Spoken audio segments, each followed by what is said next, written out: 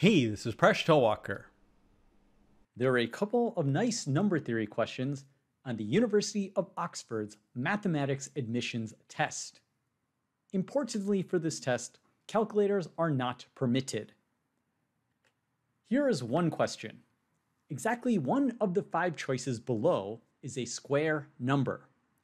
Which one? One choice is 99,999,999. Then we have 123,333,333. Option C, 649,485,225. Option D is 713,291,035. And option E is 987,645,000. So which choice is the perfect square? This question is not testing your trivia knowledge of perfect squares. It's not testing whether you can extract a square root. This question is actually testing your knowledge of number theory. The way to solve it is by using the process of elimination. If you can say which numbers are not square numbers, then you will be left with the option that is a square number. When you have eliminated the impossible, whatever remains, however improbable, must be the truth.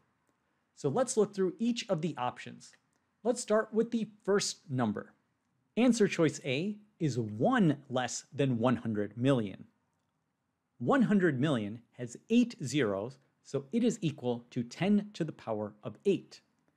But 10 to the power of 8 is a perfect square, because this is the square of 10 to the power of 4.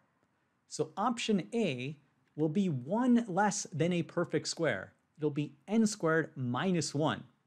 So since we are 1 less than a perfect square for a very large number, this option itself will not be a perfect square. We can eliminate answer choice A.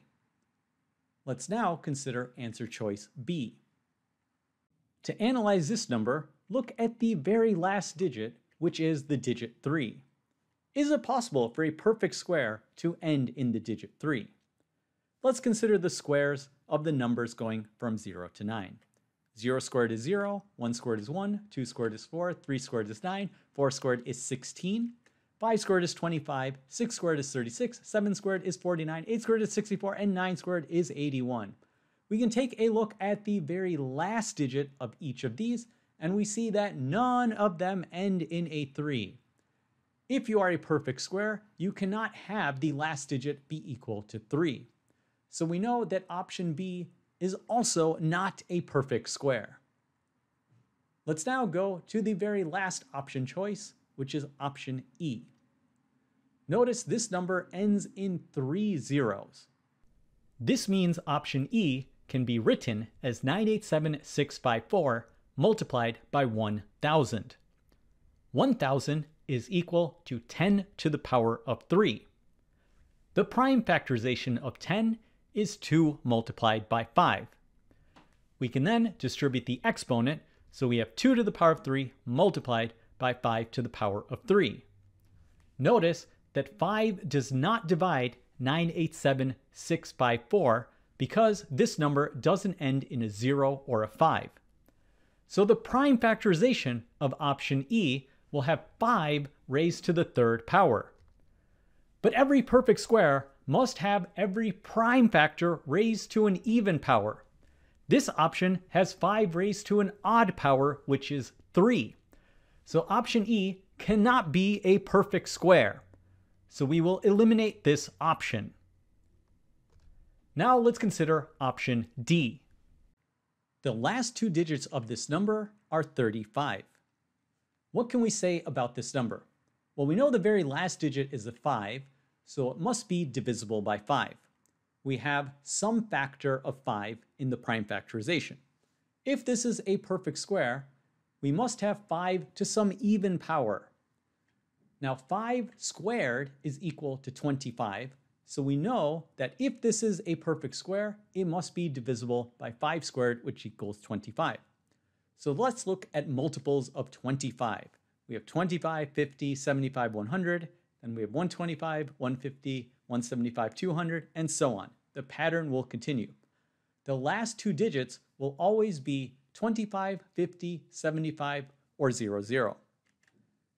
So we have option D is divisible by 5, but it is not divisible by 5 squared, which is 25. So we can't have this as a perfect square. We know that D is not a perfect square. So that leaves us only with answer choice C, and by the process of elimination, this must be the perfect square. Option C is a square number. And that's the answer. Now I want to present another interesting question. Let alpha be equal to log base 10 of 2, beta be equal to log base 10 of 3, and gamma be equal to log base 10 of 7. Which choice is closest to an integer? Answer choice A is 2 beta. Answer choice B is 5 alpha plus beta. Answer choice C is alpha plus 2 gamma. Answer choice D is 2 alpha plus 5 beta. And answer choice E is 2 alpha plus beta plus gamma. You're given a hint that 2 squared times 3 to the power 5 is equal to 9.72 times 10 squared. So at first, it isn't obvious how to solve this question to me at all. So I would just start by calculating each of the answer choices in terms of logarithms. Let's just ignore the hint for a moment and focus on answer choice A. So 2 beta is equal to 2 multiplied by log base 10 of 3. We can use the rules of logarithms to get that this is equal to log base 10 of 3 squared, and 3 squared is equal to 9. So answer choice A is equal to log base 10 of 9. Now let's consider answer choice B. We have 5 alpha plus beta. We just substitute in for alpha and beta. We can now use the rules of logarithms to simplify. So the first term is equal to log base 10 of 2 to the power of 5. 2 to the power of 5 is equal to 32. We are now summing two different logarithms with the same base of 10, so this will be equal to log base 10 of the product of 32 and 3. 32 times 3 is equal to 96. Now, where do we go from here? Well, we can rewrite this. 96 is equal to 10 multiplied by 9.6.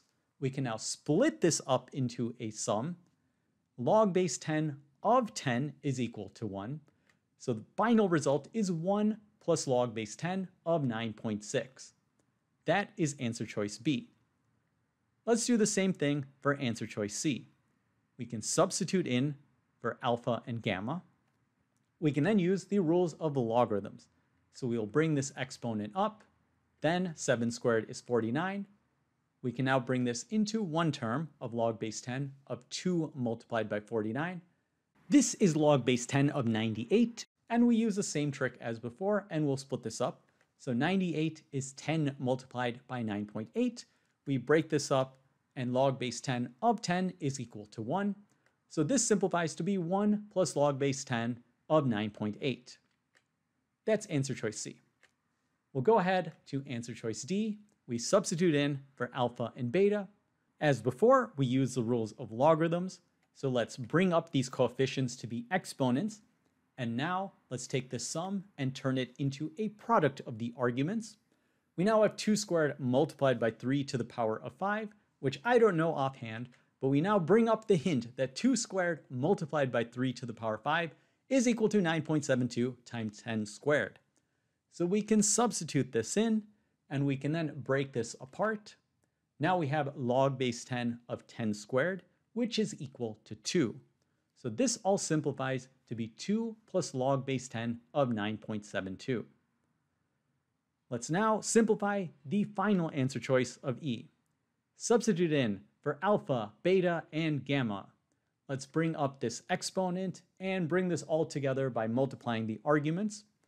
We then have 2 squared times 3 times 7, which works out to be 84. We can break this up using the trick from before, and this will all work out to be 1 plus log base 10 of 8.4. So we have our answer choices in some sort of standard form. Now, which choice is closest to an integer? In order to figure that out, we just need to focus on the fractional parts or the decimal parts. We can ignore any of the whole number parts of the answer. So all of the fractional parts will just be a single standard form.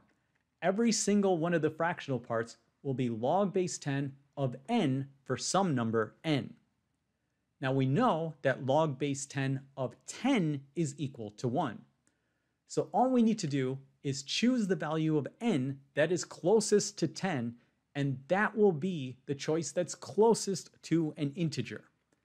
In this case, we have 9, 9.6, 9.8, 9.72, and 8.4. And clearly, 9.8 is closest to 10. Therefore, answer choice C will be the closest to an integer. And that's the answer. What an interesting question. Thanks for making us one of the best communities on YouTube. See you next episode of Mind Your Decisions, where we solve the world's problems, one video at a time.